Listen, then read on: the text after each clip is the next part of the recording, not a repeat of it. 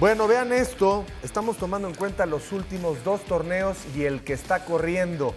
Resulta que Ángel Sepúlveda, con menos minutos que Berterame, casi 400 minutos menos en el campo, tiene más goles que Berterame. 18 de Sepúlveda contra 16 de Berterame. Y en ningún momento se consideró, estoy hablando de la situación emergente cuando se lesiona Santiago y vienen los partidos, echar mano de Sepúlveda. Estamos hablando de una situación que no amerite el análisis ahorita de si Berterame con 25 va a llegar al Mundial y que el cuate tiene 33. Estamos hablando de estos partidos emergentes donde ni siquiera lo voltearon a ver, pero eso sí, el trámite con Berterame y Berterame y Berterame, ¿no? Me parece injusto. No, no esto para aplica, aquí no aplica lo de es que tiene mejor equipo el lot, porque no. O sea, tú dices Cruz Azul y Monterrey, pues yo creo que hasta Monterrey bueno, tiene los- mejor plantel los en cantidad de calidad. Los ¿eh? seis de Sepúlveda eran cuando estaba en, No, en claro. Querétaro, ¿eh? Pero la verdad tiene mucho ¿Los qué? mérito. Tiene mucho Los mérito. primeros seis de Sepúlveda son cuando estaba en No, no, Querétaro. no. Ah, bueno, son- es que llega en ese torneo a Cruz Azul en el, en el 23. O sea, estamos hablando de que son 3.244 minutos de Berterame, 16 goles, y 2.883 minutos de de Sepúlveda. Sepúlveda. y tiene 18, 18. dos más. ¿No hay un trasfondo malinchista? Yo creo que sí, yo creo que sí. ¿de El tema lo sacó Paco y creo que sí, Sí. hace sentido. Lo saqué, Javier, porque conozco bien a, a Sepúlveda. Yo, yo lo llevé a Chivas. Yo recuerdo cuando platiqué con él, estaba en Morelia y, y en su cara, en los ojos, te das cuenta del, del- del deseo de trascender, del compromiso. No, sé qué pasó después en Chivas, porque ya no estaba yo.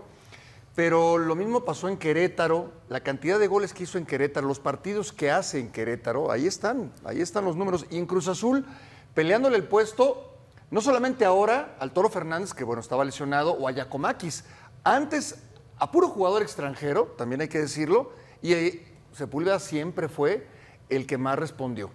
Su promedio de goles es impresionante.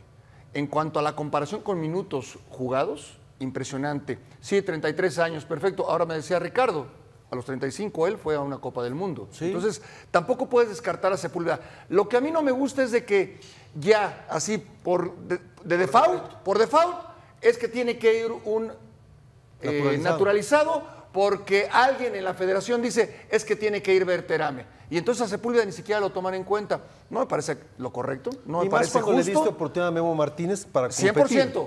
Ese es otro 100%. factor. Y yo creo que, bueno, al final, Sepúlveda, no, yo no lo he escuchado levantar la voz en ese sentido. No. Él, en la cancha y con sus goles, es donde levanta la mano y dice, pues ahí, si pueden, echen Ni un en ojito. Cruz Azul tampoco, porque Bueno. Cruz Azul ayer es un tipo que entra de cambio por la lesión de Yacomakis. Hace dos goles y luego lo sacan. Y no chista, ¿eh? Como diciendo, bueno, respéteme. Sabe que Cruz Azul tiene que cumplir con el tema de los minutos. Entra Levi y luego entra el Toro, ¿no? Pues aquí están los números, ¿no? De Henry Martin, de Berterame, de Memo Martínez, de Jiménez y de Santiago Jiménez. Repito, no estamos hablando de este torneo. Estamos hablando de año y cuatro meses. Berterame te hace 0.38 goles por partido y Sepúlveda te hace 0.39 goles por partido. En Querétaro jugaba un poquito cargadito por la banda, no era un punta. Eh, ha jugado como segunda punta y ha jugado solo, como bien lo decía Y Paco. siempre responde. Y siempre responde. No es ningún novato, tiene mucha experiencia, tiene mucho camino recorrido, es un buen jugador, mete goles, tiene estos números muy buenos. eh, pero yo siempre creo que, el, que llamar naturalizados es un salvoconducto, es una solución simplona, es un atajo.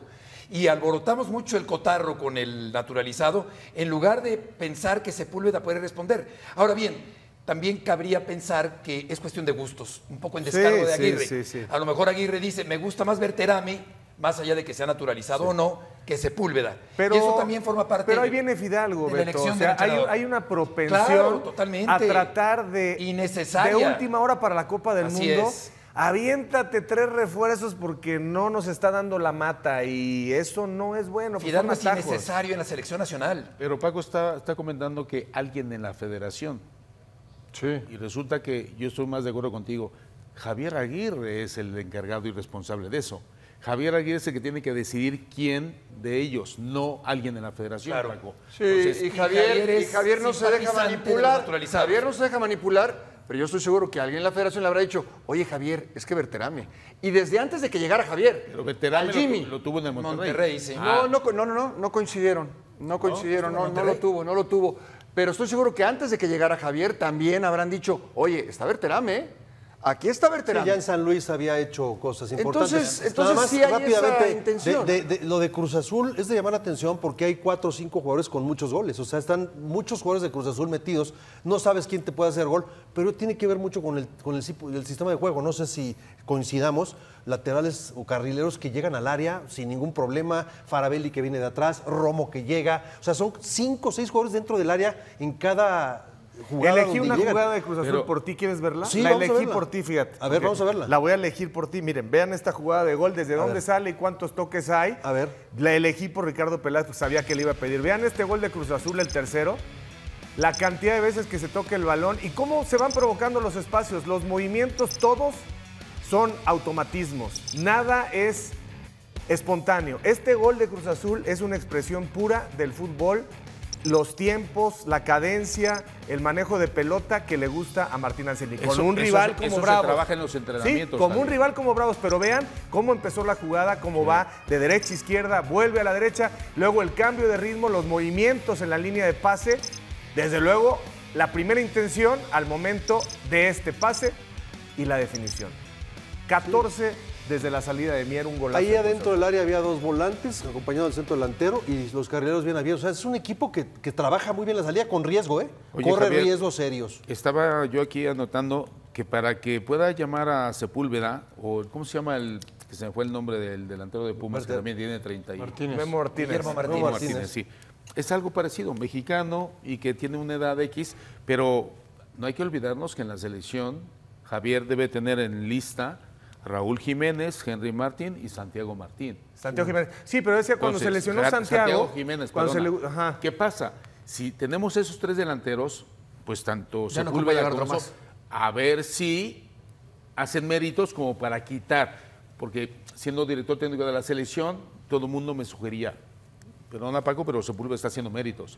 Pero bueno, sí, metes a Sepúlveda y a quién quitas, a Raúl Jiménez, a Henry Martín o a Santiago Jiménez. No, pero era cuando Santiago Está- estaba lesionado, era como para Está- dos partidos. Está lesionado, pero sí, bueno, sí, sí. estamos hablando, perdón la situación, pero estamos hablando de cara al Mundial, para preparar. ¿Estamos de acuerdo? Sí, sí, sí, de acuerdo. Y para Entonces, observar. hay que dijo. planificar y pensar que esos tres delanteros es la base sólida No, de la delantera de la selección. Claro, no, no, Ahora, sin duda, sin vamos duda, a esperar de duda. aquí a que llegue el Mundial para ver quién de esos dos jugadores mexicanos sale avante pero de es- poder ser llamado y dejar llegar- en tercera opción a Berterame. No tienes que llegar a esa situación de, de quién esos dos jugadores, si, Mar- si, si Memo o en este caso Sepúlveda o en este caso Berterame. ¿Quién de esos tres está mejor que los tres que ya mencionaste, de Santi, Raúl y Henry? Porque como tú como dices, como técnico, llevarías tres delanteros, cuatro delanteros, centros delanteros, ¿Cuántos son los jugadores que hay que llevar al Mundial? 24. Sí, pero cuatro nueves no creo. ¿no? No, vas a llevar. No, Son se tres. como mucho tres. Tres. ¿Dos? Dos y uno que haga funciones de media punta y de nueve y medio y A ver, en el 94, Hugo Sánchez, Luis Flores, Carlos Hermosillo, Luis García y Luis Miguel Salvador. ¿O estoy diciendo algo mal? ¿en qué año? En qué 94. 94, 5. Pues así nos fue. No recuerdo si Luis Flores. ¿Luis Flores sí? No. sé si Luis Flores, ¿eh? no, Luis Flores Ok, no sé si Luis Flores, lo quito. Entonces, No, pero Hugo Sánchez, Carlos Hermosillo, Luis García y Luis Miguel Salvador. Y el cadáver Valdés, se me olvidaba, pero pues Bueno, metieron más de- por fuera, ¿no? Y Bueno. Sague, bueno, Sague Bueno, por fuera. extremo. Por fuera. Bueno, ahí está el caso. No, se- no decimos que Sepúlveda es Lewandowski, pero sí creemos que oportunidades en ciertos momentos en el pasado de urgencia, pues como que no lo voltearon a ver como voltearon a ver con ojos bonitos a Berterame.